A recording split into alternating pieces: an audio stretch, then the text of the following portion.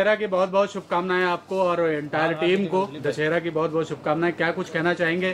बेगुना trailer launch हुआ आज। कितनी खुशी हो रही है? डबल डबल धमाका है। बहुत बहुत धन्यवाद आप सभी को।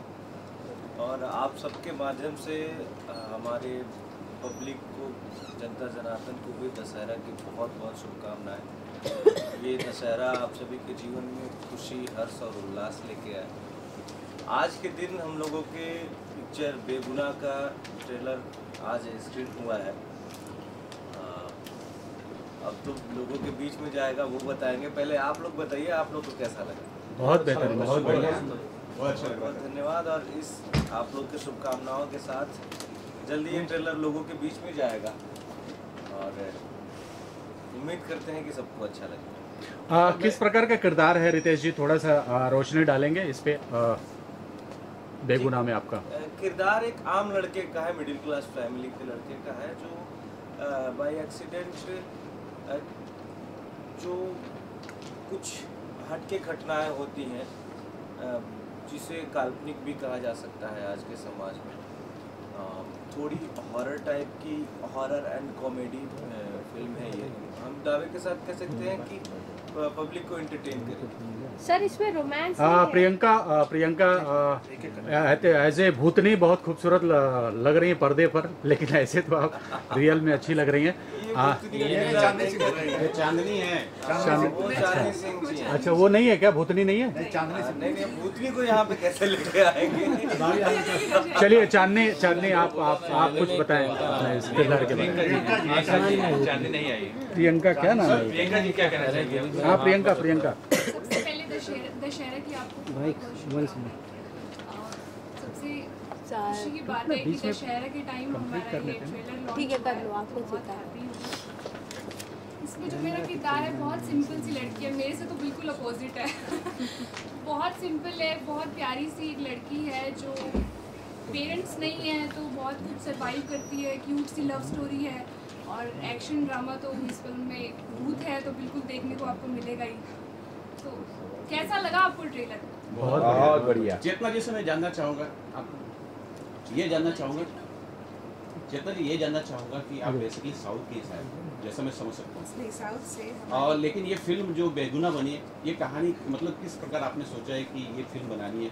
नॉर्थ में देखिए ऐसे तो मेरा जन्म बिहार से और मैं पंजाबी हूँ। थोड़ा लाउडली लाउडली मेरी मेरी जो जो मित्र है वो साउथ इंडियन है पर मेरा अभी काफ़ी लंबे समय से बैंगलोर से काफ़ी घनिष्ठ संबंध है। ये पिक्चर मेरी माता जी की सोच थी। उनको बनाना था भोजपुरी में क्योंकि मातृभूमि कहीं ना कहीं खींचती है आपको। जीवन में वो एक प्यार, एक समझ स्पेशली माताओं का, पिता का वो बना रहता है। तो उनको लगता है कहीं ना कहीं अपनी ज़मीन का जो उधार होता है, थोड़ा कर्ज होता है। और जैसा कि आप जानते हैं कि फ़िल्मों के माध्यम से लोग बहुत कुछ डायरेक्टली कन्वे कर सकते हैं। अपने मैसेजेस पहुँचा सकते हैं। मन आई मीन मनोचिंतन चेंज करने का पूरी पूरी स्ट्रेंथ रखती है पिक्चरें जी आपने फ़िल्म तो बनाई है लेकिन साथ में आप ऐसे ही बहुत बड़े प्रोडक्शन हाउस से जुड़े हैं। हाँ तो जुड़ के कितना कुछ अच्छा लग रहा है? अब मैं उसकी तुलना बता ही नहीं सकती आपको। मुझे बहुत खुशी है अभय सर से मिलने के बाद। बहुत कुछ सीखने को मिला समझने को मिला। आगे अब ये दौर जारी ही रहेगा उनके साथ। और अभय सर के बारे में तारीफ़ जितनी की जाए कम है। क्योंकि पूरी भोजपुरी इंडस्ट्री ही उनसे चलती है। अब जहाँ से वो शुरू- खड़े होते हैं वहीं से लाइन शुरू होती है। तो अभय सर के बारे में ज़्यादा कुछ कहेंगे सर मैं अरे हार ये टीम बनी कैसे थी अभय सर के साथ?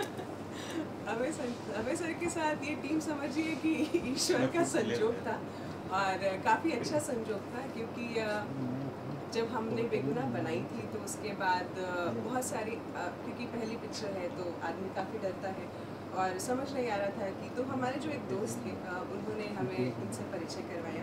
उन्होंने बोला कि अभय जी बिल्कुल सही है क्योंकि इंडस्ट्री में सबसे ज़्यादा स्ट्रेंथ उनका है और आप उनसे ही जा के मिलिए और बस जैसे मिले उसके बाद क्लिक हो मैं सर आप अभय जी आपसे जानना चाहूँगा आप जाने जाते हैं कि फॉरेन की फ़िल्म बनाते हैं लंदन की फ़िल्म बनाते हैं। ये फ़िल्म देसी है सर किसका किस लाइट से आपने लिया? हिमांशु। क्या कुछ लाइट नीचे हिमांशु लाइट किसका है? तो बिहार से बिलोंग करते हिमांशु। ये किसका कैमरा भाई? एक मिनट जानने वाला था मेरे बड़े से दोस्त है। तो लाइट बीच में आ रहा है। बताया है थोड़ा. तो अच्छा लगा हाँ। अभय सिन्हा जी बहुत महँगे बजट की फ़िल्म है। इसका कितना बेनिफिट मिलेगा? इंडस्ट्री पिक्चर बजट छोटे बजट से नहीं होता छोटे बजट में अगर अच्छा कंटेंट आप बनाइए तो ज़रूर चलेगा तो इसमें रितेश जी हैं रितेश जी आजकल इंडस्ट्री में इनकी हर पिक्चरें चल रही है। हमने अभी इनके साथ तीन पिक्चर लंदन में बना चुके हैं अभी फिर वापस मेरे साथ लंदन जा रहे हैं पंद्रह तारीख तो रितेश जी का मार्केट बहुत ही अच्छा है। और रितेश जी ये लोग फ़िल्म लेके मेरे पास आए ट्रेलर देखे हमको अच्छा लगा। सर एक जानकारी हो चाहिए अगर लंदन की बात चल रही है क्या केसारी जी भी जा रहे हो आपके साथ ही लोग हैं। रितेश जी असल ज़िंदगी में कभी ऐसी भूतनी से सामना हुआ है?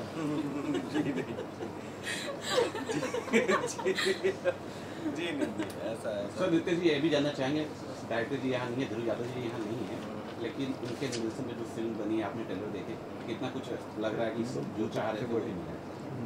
बिल्कुल देखिए वो बहुत सरल स्वभाव के डायरेक्टर हैं और उनके साथ काम करके बहुत अच्छा लगता है। और अब हम लोग क्या कर पाए हैं कितना किए हैं उसका रिज़ल्ट तो पब्लिक को देना। तो हम पब्लिक से यही कहना चाहेंगे कि आप लोग एक बार ज़रूर जब ये पिक्चर आए ज़रूर देखें। और अपना प्यार जैसा मैडम इस फ़िल्म में आपने स्टोरी भी लिखा है स्क्रीन प्ले भी आपका है डायलॉग भी आपका है।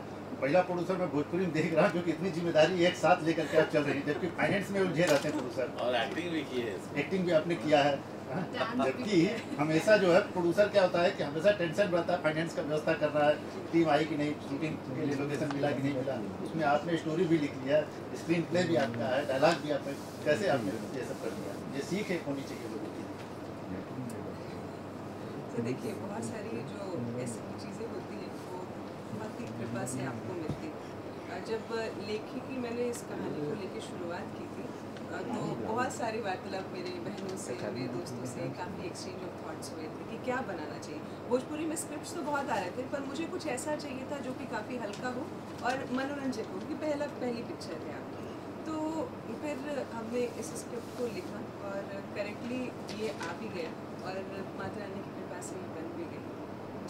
आप सभी को हम बताना चाहते हैं कि लोग ये कहते हैं कि इतनी खूबसूरत हीरोइन के साथ काम किया मैं ख्याल से पहला ऐसा एक कलाकार हूँ इस भोजपुरी इंडस्ट्री का जो दो इतनी खूबसूरत प्रोड्यूसर्स के साथ काम चेतना तीन और निशा योगेश्वर हीरोइन मिला के पाँच हो गए सर तो पूछिए मत हमारे खुशी का ठिकाना क्या था क्या है? ये तीनों प्रोड्यूसरों की टीम कैसे बनी थी? बताइए आप बताइए। हाँ, आप बताइए कैसे टीम बनी थी? ये तो मेरी बहन है। तो हमने तो साथ में शुरू किया और वो हमारी बहुत अच्छी दोस्त है। अच्छा। और हम एक दूसरे को बहुत सालों से जानते हैं तो साथ में ही काम शुरू किया है और साथ में ही आगे बढ़े कितना परेशानी हुआ था आप लोगों को ये फ़िल्म बनाते समय? क्योंकि मैं प्रोडक्शन और सारे शूटिंग का पार्ट नहीं थी तो ये जब आप जो थे वो देख मैडम आप बताइए। परेशानी नहीं बोलेंगे पर पहली फ़िल्म थी और अरे, कैमरा पिछले ना। पहला पहला टाइम था कि हम पिछले ना उसको। अरे कैमरे में आ रहा है। हम कंटिन्यू लाइट बंद कर, लाइट निकालना। किसका है? तो नया सब लोग से परिचित होके फिर सिस्टम समझ के। तो उस हिसाब से देखा जाए तो एक्सपीरियंस तो बहुत बढ़िया था पहले टाइम आपको बहुत सीखने को मिलता है। एंड बहुत अच्छे लोग भी मिले हमको। और तो फिर रहे, जाते जाते जब फ़िल्म खत्म हो गई तो फिर हम हमारे मुलाकात अभय सर से भी हुआ। एंड मैं कहना चाहूँगी कि अभय सर के आने से हमको बहुत स्ट्रेंथ मिला है। बहुत ही सरल स्वभाव के हैं। एंड उनके आने से हमको और अभी और फ़िल्म करने का मौका मिलेगा। एंड दूसरा फ़िल्म भी। अभी हमारे साथ लंदन में दो फिल्मी लोग साथ में ही बना रहे हैं। ये फ़िल्म कब रिलीज़ हो रही है ये फ़िल्म अभी जैसे कंप्लीट हो जाए सारा एक बार।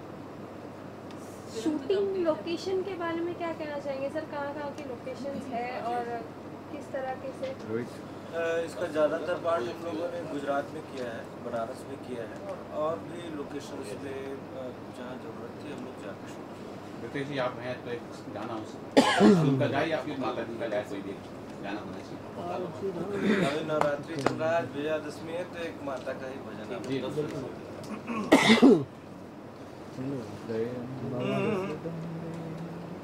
विश्वास करा तू मैया पे विश्वास करा तू। मैया पे उहे पार लगई है नैया के। विश्वास करा तू। मैया पे उहे पार लगई है नैया विश्वास करा तू, मैया पे उहे पार लगई है नैया के विश्वास करा तू, मैया पे उहे पार लगई है नैया के उहे पार लगई है नैया के बस आस करा तू मैया पे उहे पार लगई है नैया के। विश्वास करा तू मैया पे उहे पार लगई है नैया के। रितेश जी आखिरी सवाल चलते चलते आ, अगर भोजपुरी दो एक्टरों का नाम लेना हो तो कौन है आपका पसंदीदा एक्टर एक तो पवन सिंह दूसरा खेसारी सिंह। दोनों में से आपको एक चूज़ करना है। लाल यादव जी। खेसारी लाल यादव हाँ। और पवन क्यों नहीं? नहीं नहीं नहीं मैंने आप नाम करेक्ट किया। आपने खेसारी सिंह बोला इसलिए मैंने नाम करेक्ट खेसारी लाल यादव और पवन सिंह दोनों में से अगर आपको चूज़ करना हो तो बेहतर एक्टर कौन है? हाँ। नहीं नहीं तो बताइए एक्टर की बात तो दोनों लोग अपने अपने जगह पे जैसे बड़े भाई पवन सिंह जी एक्शन अच्छा करते हैं खेसारी लाल यादव जी कॉमेडी अच्छा करते हैं। और जैसे हमारे बड़े भाई दिनेश लाल यादव जी हैं वो इमोशनल फ़िल्में बहुत पारिवारिक फ़िल्में ज़्यादा अच्छे करते हैं। सब लोग अच्छा अपने अपने जगह पे कर रहे हैं। इसमें कंपैरिजन करना कर पाना बहुत मुश्किल है। चलिए wish all the best thank you so much thank you so much